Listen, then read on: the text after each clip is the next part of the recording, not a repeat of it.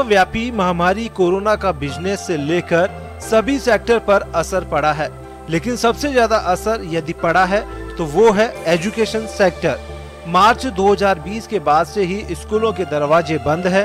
हालाँकि संक्रमण कम होने पर एक दो महीनों के लिए बड़ी कक्षाओं के स्टूडेंट के लिए ज़रूर स्कूल खोली गई, लेकिन संक्रमण ने फिर रफ्तार पकड़ी तो स्कूलों को बंद करना पड़ा। ऐसे में संक्रमण का असर परीक्षाओं पर भी पड़ा। सीबीएसई ने स्टूडेंट के हितों को देखते हुए पहले दसवीं बोर्ड परीक्षाओं को रद्द किया तो अब बारहवीं की परीक्षाओं को भी रद्द किया जा चुका है। उधर कई राज्यों ने अपने बोर्ड की परीक्षाओं को भी रद्द कर दिया है।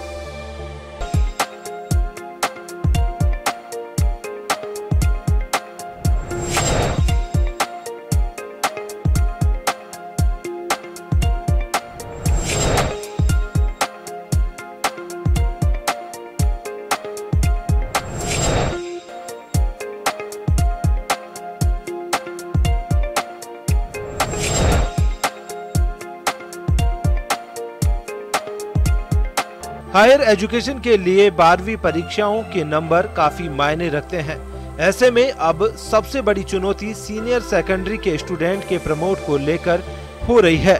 सीबीएसई अगले सप्ताह तक इसका फॉर्मूला इजाद करेगा और फिर स्टूडेंट को प्रमोट करेगा, लेकिन इस बीच विशेषज्ञों की माने तो प्रमोट करने से स्टूडेंट के भविष्य पर गलत असर पड़ने की बात मानी है। हालाँकि इस बीच ज़्यादातर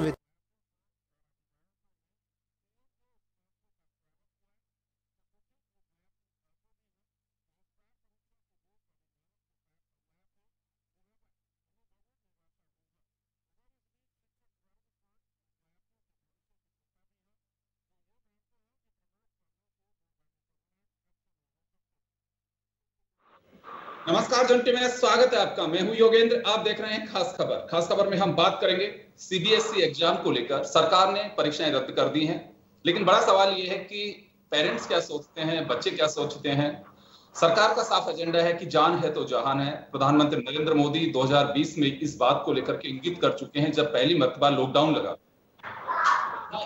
एक बड़ा पशु पेश फंसा हुआ है कि ये बच्चे गैप पूरा कैसे कर पाएँगे? कुछ बच्चों का सोचना है कि चलिए बहुत अच्छा हुआ एग्ज़ाम होना था तो एग्ज़ाम होना चाहिए था, या फिर अगर रद्द हो गए तो चलिए एक बात के लिए हमें क्लियर होना चाहिए। दूसरा, एक तबका यह सोच के चलता है कि नई एग्ज़ाम होने चाहिए थे, मैंने पूरे साल तैयारी की है। ऐसे में नेक्स्ट अगर मैं कहीं जाऊँगा तो पोजिशन में मेरी मार्क्स का क्या होगा? तो चलिए, लेकिन किसका क्या सोचना है? मैं चर्चा करूँगा हमारे साथ अजमेर से स्टूडेंट्स काउंसलर अर्चना व्यास जी जुड़ी है। हमारे साथ जयपुर से तन्मय शर्मा है और जोधपुर से हमारे साथ दीपशिका सिंह राठौड़ है और गेस्ट हमारे साथ जुड़ रहे हैं। हम वैसे ऐसे रूबरू रहेंगे चले मैं दीपशिका सबसे पहले आपके पास आना चाहूँगा। एग्ज़ाम कैंसिल हुए हैं। क्या कहना आपका इसके दीपशिका आप मुझे सुन पा रही हैं? दीपशिका मेरी आवाज़ आ रही है आप तक? जी आप अनम्यूट करिए आप यहाँ से सिस्टम म्यूट है अभी। उसे अनम्यूट करिए। आप अपना ईपी हटा दीजिए और निकाल दीजिए उसके सिस्टम से जी आप आवाज़ आ रही है मेरी आपको? जी सर जी दीपिका आपने मेरा सवाल सुना होगा।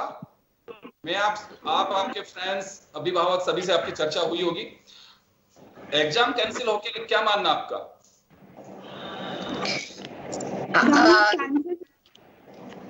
जी बोलिए दीपशिका बोलिए आप बोलिए।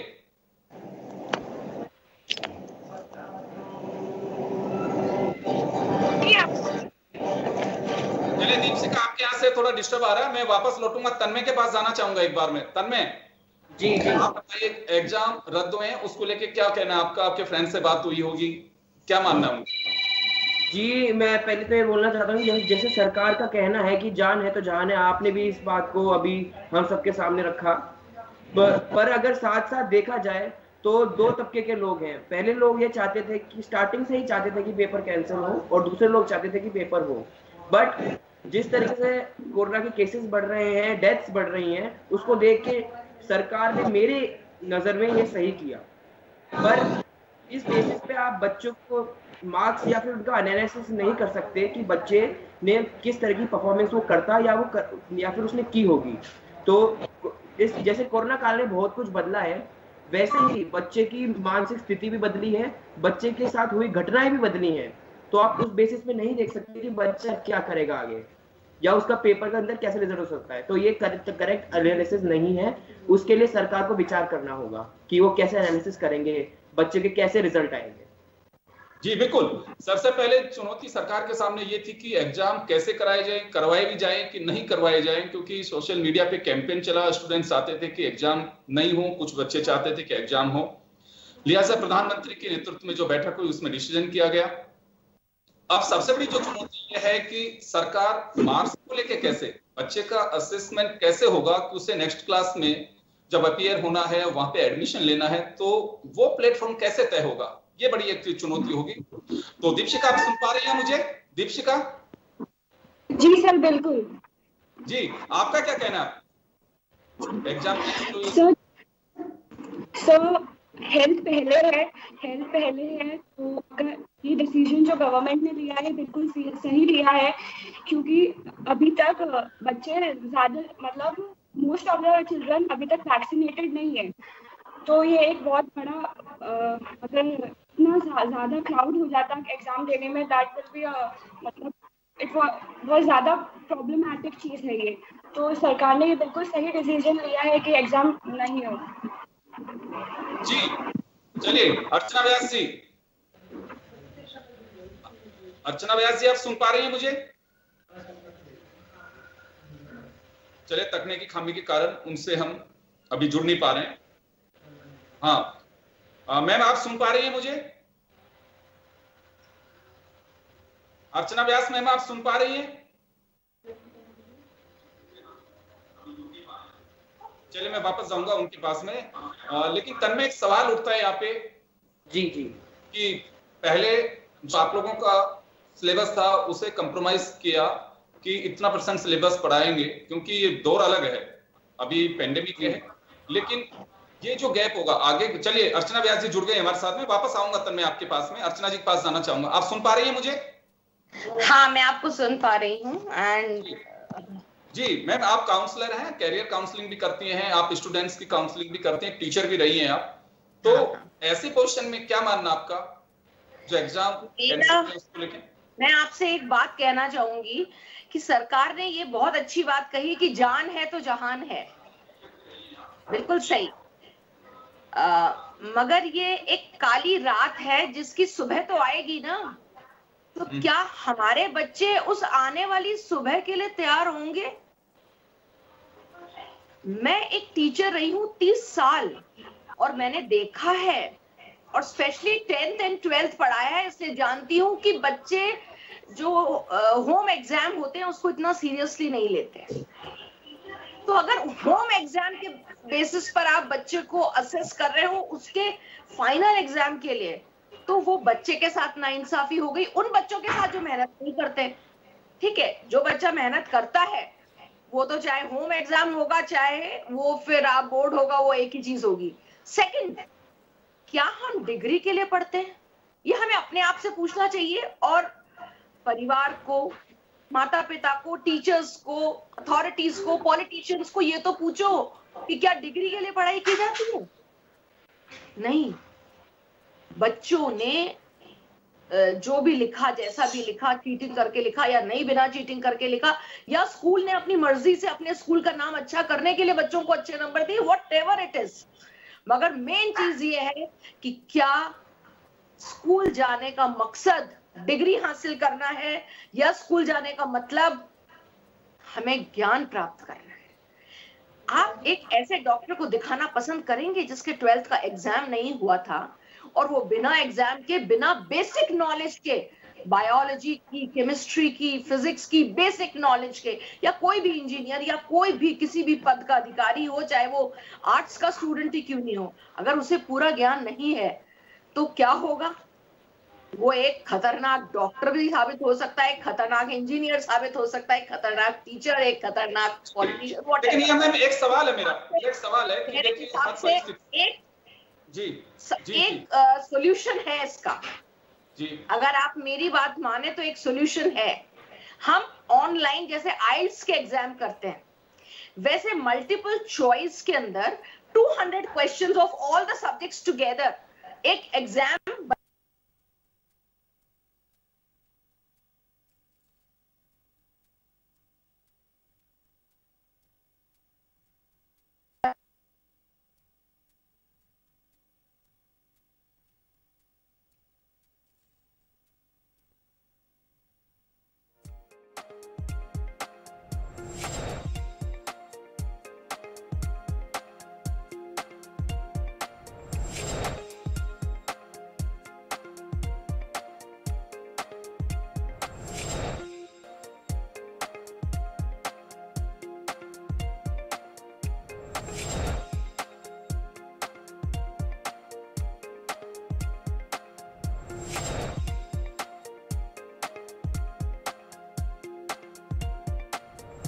है और जिस तरह की स्थितियों का सामना करना पड़ा है हम सबको मालूम भी है कि इसमें डेथ केसेस काफ़ी हुए ऐसे पोजिशन में कोई रास्ता क्योंकि अब हमारे यहाँ वैक्सीनेशन अभी हो नहीं पा रहा है बच्चों का तो कोई खतरा लेना भी नहीं चाहता।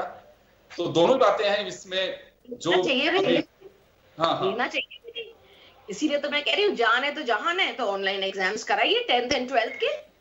जी लेकिन ये भी सवाल उठता है कि फिर ये गैप पूरा कब होगा? बच्चों को जो पढ़ाई की है आपने सही कहा कि आपने ट्वेल्थ पास नहीं की तो ये कैसे होगा? क्योंकि एक बच्चा लगातार तैयारी कर रहा है एक ये इंतज़ार कर रहा है कि परीक्षाएँ रद्द हो जाए। तो वो बड़ा अंतर है। फिर वहाँ कैसे करेंगे? जी तन्मय कुछ कहना चाह रहा है इस पे। तन्मय कुछ कहना चाह रहा है। जी तन्मय। मैं देखिए मैं इस पॉइंट पे देखना चाह रहा हूँ। जैसे मैम ने बताया कि इसके कुछ साइड इफेक्ट्स हैं। वैसे मैं उसके एक बेनिफिट्स की तरफ़ बताना चाहता हूँ थोड़ा सा कुछ। जैसे तो। कोई चीज़ रुकती है कोई चीज़ स्टडी होती है तो हमारे लिए अगर वो स्टॉपिंग पॉइंट है तो स्टार्टिंग पॉइंट भी वो बन सकती है। जैसे ये बात से हम सब जानते हैं कि जो हमारा एजुकेशन सिस्टम है, वो कितना पिछड़ा हुआ है, बाकी देशों के मुकाबले। इसी कारण हमारा जो यूथ है, वो इतना सोच नहीं पा रहा है और वो यहाँ से बाहर जाता है। अगर हम ये चीज़ के ऊपर ध्यान दें तो हम शायद इस टाइम को जो स्टडी हम रुके हुए हैं, अभी हम उसको चेंज करके हम हमारी जो टेक्नोलॉजी है या फिर हम, हमारी जो एजुकेशन सिस्टम है, उसको बदल के हम उसको उस चीज़ में यूज़ कर सकते हैं। और हमारा जो यूथ है, उसको सही ट्रैक पे ला सकते हैं हम। क्योंकि मेन प्रॉब्लम क्या होती है? जब हमारी एजुकेशन यहाँ पे हमारे को कंफर्टेबल हम नहीं होंगे तो हमारी जॉब उस टाइप लेवल की नहीं होगी जो हम एक्सपेक्ट करते हैं। जो मनी मनी हम एक्सपेक्ट करते हैं, हमें वो नहीं मिलेगी। तो मेजर पॉपुलेशन जो यहाँ से बाहर जाती है, जो इंटेलिजेंट जो एलिट क्राइटेरिया है, वो यहाँ से बाहर सिर्फ़ इसलिए जाता है क्योंकि उनकी नीड्स फुलफिल नहीं होती है। अगर हम इस टाइम को उस चीज़ को सही करने में यूटिलाइज करें तो क्या हमारी लाइफ बेटर नहीं होगी यहाँ पे? जब हमको ये मालूम है कि हमारा ऑनलाइन टेस्ट होगा तो हम पढ़ेंगे। तुलसीदास जी ने बोला भय बिन होत न प्रीत। हमें जब तक ये पता नहीं है ना कि हमें इस प्रश्न इस क्वेश्चन पर या इस चैप्टर पर या, या इस टॉपिक पर हमसे कोई कुछ पूछ लेगा तब तक हम ये सोचते हैं कल कर लेंगे। मैं हर बच्चे के लिए नहीं कह रही हूँ मगर 75 परसेंट बच्चे तो वही होंगे। फाइव के लिए कह सकते रोज पढ़ेंगे मगर क्या 75 percent of the students of your class will ever study seriously और लर्न सम क्राफ्ट और some vocation seriously without being you know without expecting any exam or any kind of uh, test that's ma'am, really I accept ma'am ma'am I accept what you are saying but see the my point is कि हर चीज़ डर के मारे नहीं होती है ma'am ma'am जैसे आप देखते हैं डर डर तो कोरोना का भी है पर फिर भी केसेस फैल रहे हैं। लोग लोग अभी सतर्क नहीं है। लोग अभी भी वैसे ही बाहर जैसे घूमते वैसे घूम रहे हैं। तो मैम वो भी तो देखो ना आप। सिर्फ़ पढ़ाई में छोड़ना डर होता है। मैं। मैं बिल्कुल बिल्कुल बिल्कुल। मैं व्यास के पास मैं मैं व्यास और तन्मय दोनों के पास आऊँगा दीप के पास जाना चाहूँगा एक बार में। दीप आप क्या सोचती हैं इसको लेके?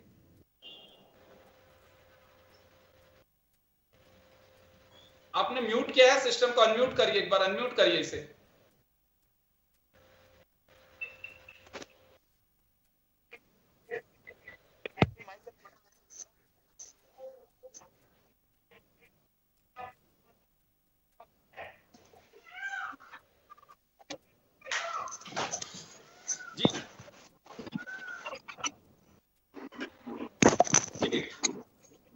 दीपशिका बोलिए बोलिए बोलिए तो मेरा मानना है जो मैम ने बोला वो बिल्कुल सही है कि जो हमने पूरे साल जो प्रिपरेशन की है उसका हमें भी कोई फल मिलना चाहिए कि हमने हमने इतनी मेहनत करी है तो उसका मतलब कोई हमें कोई इवेल्यूशन हम भी आपको तराशे के हमने, हम कहाँ स्टैंड करते हैं? तो उस चीज़ के लिए अगर ऑनलाइन एग्ज़ाम्स हो तो वो बेनिफिशियल है बच्चों के लिए। जी, लेकिन एक बात है, कभी हम सोच पाते हैं कि जो गैप है, जैसे मैंने पहले भी कहा कि हमारा जो सिलेबस है, उसमें हमने किया। उसके बाद अभी एग्जामिनेशन जो है, वो नहीं हो पा रहे हैं। बहुत सारे बच्चे ऐसे जिन्होंने कोचिंग भी ली, साथ में अपनी पढ़ाई भी की उस पोजिशन में वो स्टूडेंट्स क्या सोच रहे हैं अभी? आपके साथी होंगे, आप लोग भी होंगे। सर जैसे कि अगर ऑनलाइन एग्ज़ाम्स होते हैं तो उससे उससे सबको उससे उसमें सबको बेनिफिट मिलेगा। जो बच्चे पढ़ते हैं जो मतलब अपना बच्चा अपना इवेल्युएशन बता पाएगा कि वो कहाँ स्टैंड करता है। तो जी दीप मैं आपके पास में लौटूँगा। दीपशिका मैं लौटूँगा आपके पास में। मंगेश हमारे साथ जुड़ गए हैं इस वक्त। मंगेश एग्ज़ाम कैंसिल हुए हैं उसको लेके क्या मानना आपका?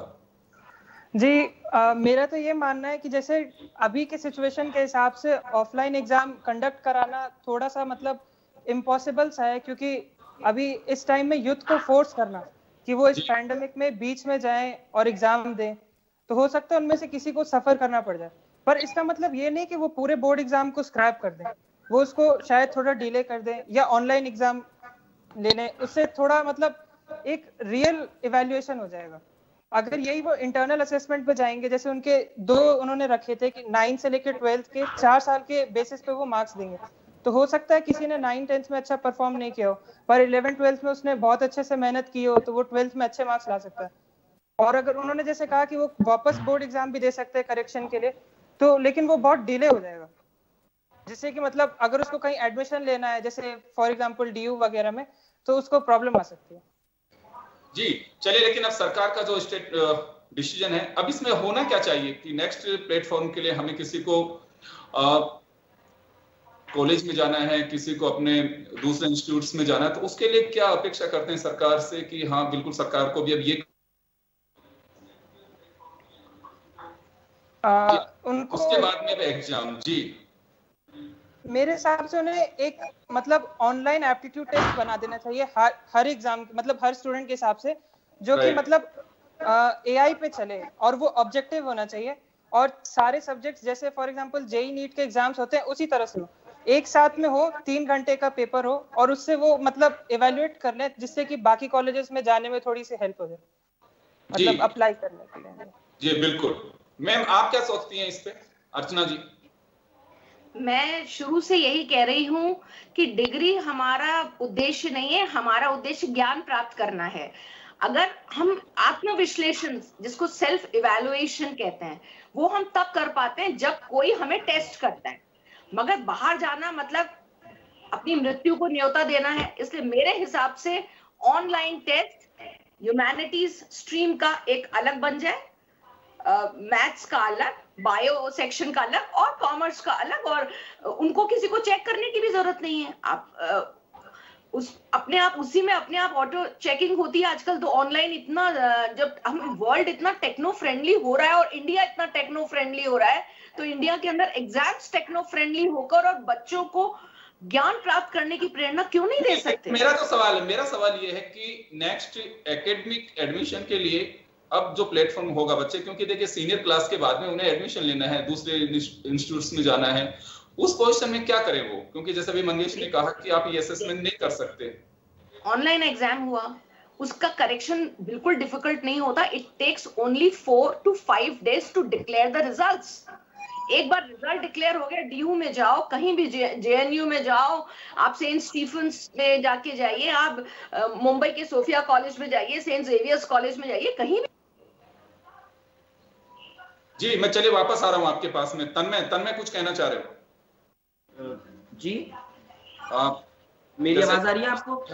एडमिशन को लेके एडमिशन को लेके नेक्स्ट जो एकेडमिक कैरियर करना है उसको लेके क्या कहना है हाँ, वो एडमिशन तभी हो पाएगा जब मेरे हिसाब से बच्चा आ, ये ऑनलाइन एग्ज़ाम दे ले। और उससे उसकी, उसको खुद को भी पता पड़ेगा, मुझे कितना आता है।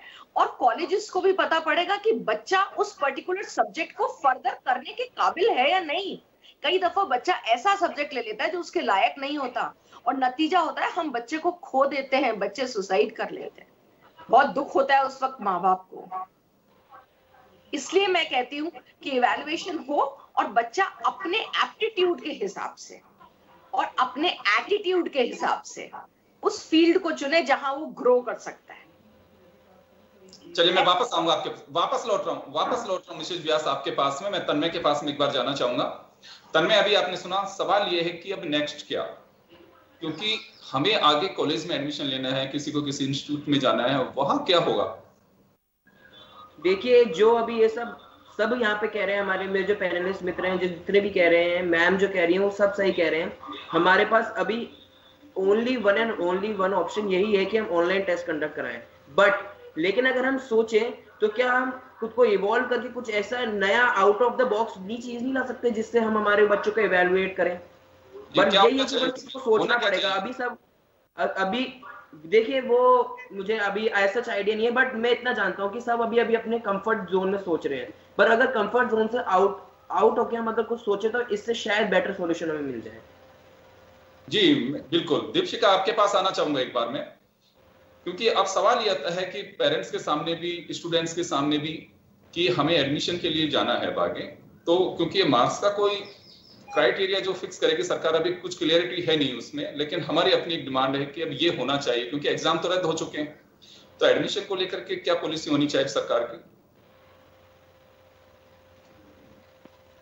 जी दीपशिका जी बोलिए बोलिए। जो आगे का जो आगे का एडमिशन प्रोसेस है वो वही ऑनलाइन जो हमें एग्ज़ाम ऑनलाइन एग्ज़ाम होता है तो उसी के बेसिस पे होना चाहिए क्योंकि अगर इंटरनल असेसमेंट से होता है तो बहुत बच्चे ऐसे हैं जिनके इंटरनल असेसमेंट अच्छे नहीं हुए हैं। तो उनके पास भी एक प्लेटफॉर्म एक चांस मिल जाएगा अपने आप करने का वो भी अच्छा कर सकते हैं। तो उस बेसिस के लिए एक ऑनलाइन एग्ज़ाम होना चाहिए ताकि जो बच्चे चाहते हैं कि वो अच्छी कॉलेजेस में अपना एडमिशन लेना चाहे, क्योंकि एडमिशन एडमिशन है, वो मेरिट लिस्ट पे डिपेंड होगा। उसके लिए अगर एग्ज़ाम हो तो जी, चलिए मंगेश, आपके पास आना चाहूँगा एक बार में।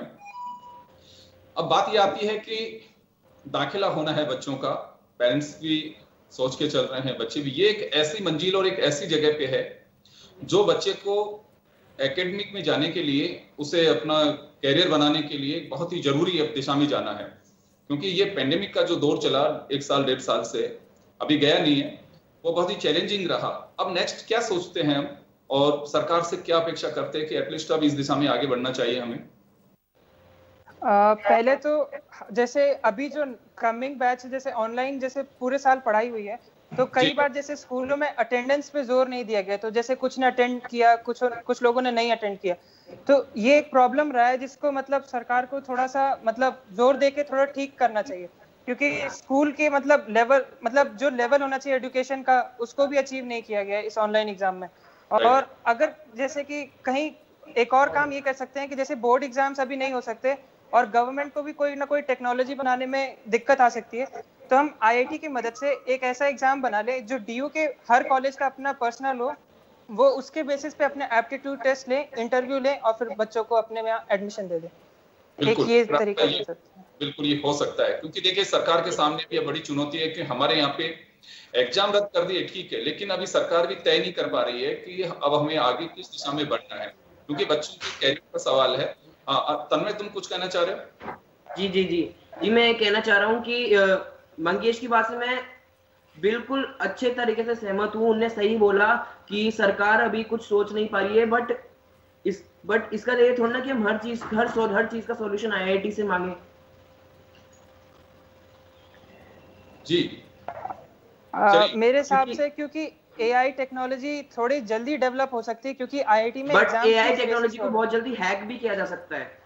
और उतनी ही जल्दी चीज़ें फिर डिस्ट्रीब्यूट होंगी मार्केट में उतनी जल्दी पेपर लीक भी होंगे जितनी जल्दी एक बार के लिए अभी एक बार के लिए क्योंकि अगर टाइम पीरियड होगा उस दरमियान हम क्या कर सकते हैं? क्योंकि देखिए ये कुछ रास्ते तो हम निकालने होंगे रिस्क है इसमें कोई डाउट नहीं है कि जिस रास्ते में हम चलते हैं वहाँ रिस्क भी होता है किसी रास्ते में चले जाएँगे तो वो तो कहीं तो हमें कंप्रोमाइज करना होगा उस रास्ते को चुनना होगा। क्योंकि ये हम ये नहीं कह सकते कि पूरी तरह से ये सिक्योर है या फिर हम कहे कि हाँ बिल्कुल यहाँ कोई प्रॉब्लम नहीं होगी। हमें क्योंकि क्योंकि एक मेंटेलिटी जो अभी बनी हुई है कि किसी के ये असर है कि मैंने इतनी मेहनत की और एग्ज़ाम रद्द नहीं होनी चाहिए तो मैं तैयार था, मुझे एग्ज़ाम देना है, कुछ बच्चों को ये मानना है कि चलिए, हम एक जो होना था डिसीज़न होके काम खत्म हुआ तो कई चीज़ें चल रही हैं बच्चों के दिमाग में और उनका भी बड़ा ख्याल रखना है। जैसे मिसेज व्यास ने अभी कहा कि बच्चों को हमें पैनिक नहीं करना। उनका भी पूरा ख्याल रखना है, उनके कैरियर का भी ख्याल रखना है। तो ये बड़ी चुनौती है सरकार के सामने पेरेंट्स के सामने स्टूडेंट्स के सामने और सबसे बड़ी चुनौती तो हमारे सामने कोरोना है। इसी के बीच हमें आगे भी बढ़ना है। एक बड़ा आखिर सवाल मिसेज व्यास से होगा। जी मैंने अभी जैसे बच्चों से भी पूछा मैं आपसे भी मेरा सवाल है कि सरकार को कोई ऐसा रोल मॉडल तैयार करना होगा या फिर कहें कि कुछ इस तरह इस तरह की कोई रूट लाइन तय करनी होगी कि जिससे हम कह सके कि अभिभावक भी सहमत हो सके बच्चे के कैरियर पे इसके कोई विपरीत असर नहीं पड़े? बिल्कुल सही कहा आपने। और मैं मंगेश की बात से काफ़ी हद तक सहमत हूँ। उसमें सिर्फ़ एक बात जोड़ना चाहूँगी जो मुझे लगता है कि ऐसा होना चाहिए। हमें एक कॉमन एप्टीट्यूड टेस्ट कर देना चाहिए। मेडिकल का अलग होता है इंजीनियरिंग का अलग होता है मगर जो ये ह्यूमैनिटीज होते हैं या कॉमर्स के स्टूडेंट्स होते हैं उन लोगों के लिए एक कॉमन एप्टीट्यूड या कॉमर्स ब्रांच का जैसे मैंने पहले भी बोला एक अलग एप्टीट्यूड टेस्ट हो जो कि सब कॉलेजेस पर लागू होता है। मतलब वो एक सिंगल मार्कशीट जो एक एप्टीट्यूड टेस्ट का रिज़ल्ट है, वो every college should accept it ये नहीं कि हर कॉलेज अपना अपना एप्टीट्यूड टेस्ट करवा रहा है और फिर हर कॉलेज के लिए माँ बाप 500 या वो पैसे दे रहे हैं। तो हर किसी के लिए ये पॉसिबल नहीं है, क्योंकि पेंडेमिक ने हमें शारीरिक रूप से ही नहीं, मानसिक रूप से ही नहीं, बल्कि हमें आप देखिए फाइनेंशियल रूप से कितना आहत किया है पेरेंट्स को। कुछ पेरेंट्स ने अपनी जॉब खो दी है। मेरे हिसाब से एक कॉमन टेस्ट होना चाहिए हर स्ट्रीम का। And that should be the criterion of giving admission in the next class बिल्कुल आप सही कह रहे हैं और जो हम चर्चा कर रहे हैं उसका मकसद भी यही है कि सब यही मान के चलते हैं कि क्योंकि ये सैंपल है, हमारे बीच में, समाज में इसी तरह के सब्जेक्ट के बच्चे हैं। सब्जेक्ट के जो किसी स्टेट में चले जाए मध्य प्रदेश, गुजरात, उन्होंने अपने एग्ज़ाम्स जो हैं स्टेट बोर्ड के भी कैंसिल किए हैं। वो चाहे स्टेट बोर्ड के स्टूडेंट्स हो या फिर सीबीएसई के हो, दूसरे बोर्ड्स के हो सब जगह एक जैसी ही है। और वो यही चाहते हैं कि अब आगे क्या? क्योंकि पेरेंट्स के सामने सबसे बड़ी चिंता ये है कि ट्वेल्थ के बाद ट्वेल्थ के बाद उन्हें अपने बच्चे का कैरियर बनाने पर पूरा फोकस करना होता है, पूरे दो साल से, तीन साल से वो मेहनत करते हैं कि हमें किस दिशा में बच्चे को भेजना है। ये एक ऐसी पोजिशन पे आकर के, क्योंकि बच्चे का आप असेसमेंट नहीं कर सकते कि उसने कैसा एग्ज़ाम दिया नहीं है। अभी तो बच्चे ने तो तैयारी की है, बस वही आपके सामने है, उसी के आधार पे हमें आगे के कदम बढ़ाने हैं। लेकिन अब ये देखना होगा कि सब चीज़ों के बीच अभी रास्ते क्या निकलते हैं, क्योंकि सरकार के सामने चुनौती, हमारे सामने भी चुनौती है। बच्चे सब जगह हैं, हर स्टेट के अंदर हैं। सीबीएसई से भी जुड़े हुए हैं, कुछ बच्चे स्टेट बोर्ड से भी जुड़े हुए होंगे, लेकिन प्रॉब्लम सबकी कॉमन है कि अब आगे क्या तो चलिए हम सबको शुभकामना देंगे कि आप लोग आगे सफल हों, सरकार कुछ इस तरह के रोल मॉडल या रूल बनाए या कुछ ऐसी रूट लाइन बनाए, जिसे हम सब लोग स्वीकार भी कर सकें और बच्चों पे किसी तरह का कोई दबाव ना हो, क्योंकि बच्चों के पैनिक नहीं होने देना, इसको भी पूरा ध्यान रखना होगा। और लेकिन सभी भविष्य के गर्भ में है कि क्या होता है। लेकिन जो भी होगा, जल्द होगा। सरकार इस पर पूरी तरह से कोशिश भी कर रही है, स्टेट से भी सलाह ले रही है, प्रिंसिपल से भी बात कर रही है, अभिभावकों से भी, बच्चों की मनोस्थिति को भी समझने की कोशिश कर रही है। चलिए विशेष व्यास, आपका, मंगेश, दीपशिका, तन्मय, सभी का बहुत बहुत शुक्रिया, और खास खबर में हमारे साथ जुड़ने के लिए, और मुझे भी दीजिए इजाज़त। नमस्कार।